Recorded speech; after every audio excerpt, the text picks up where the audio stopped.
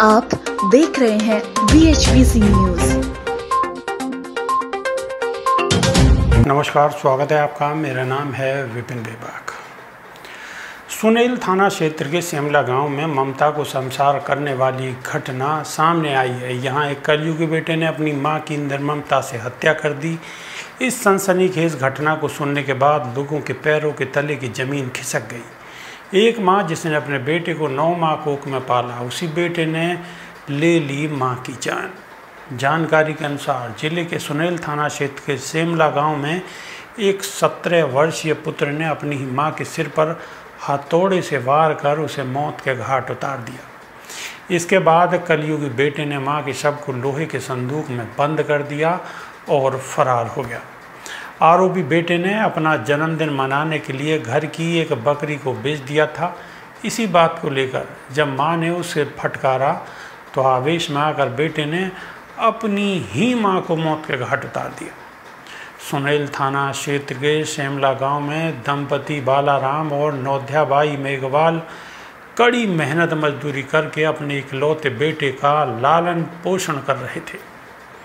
और उसको बेहतर शिक्षा दिलवाने के प्रयास कर रहे थे। निर्धन माता पिता पसीना बहाकर पैसा कमाते और अपने बेटे की हर इच्छा को पूरा करने की हरदम कोशिश करते थे।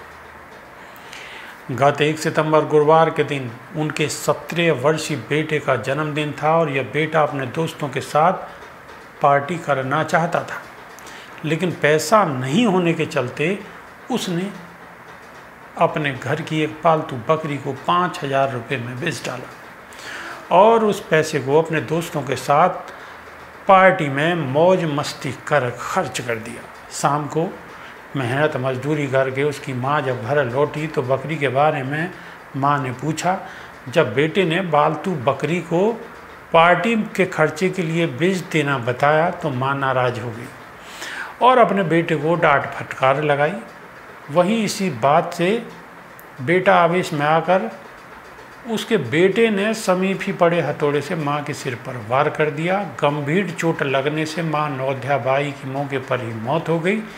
इसके बाद उसका बेटा कुछ देर के लिए घर से बाहर खड़ा हुआ और फिर वापस घर में लौटा। माँ के शव को कंबल में लपेटकर घर के कमरे के भीतर रखी लोहे की एक संदूक में उसने बंद कर दिया। कुछ देर बाद जब उसका पिता घर लौटा तो उसने बेटे से माँ के बारे में पूछा। उसने बहाने बनाने शुरू किए।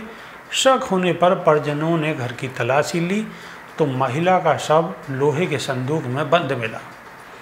परिजन आनंद फानंद में खून से लथपथ मिली। नौध्याबाई के शव को लेकर सुनील चिकित्सालय पहुँचे, जहाँ चिकित्सकों ने उसे मृत घोषित कर दिया। चिकित्सा कर्मियों की सूचना पर सुनील थाना पुलिस मौके पर पहुँची।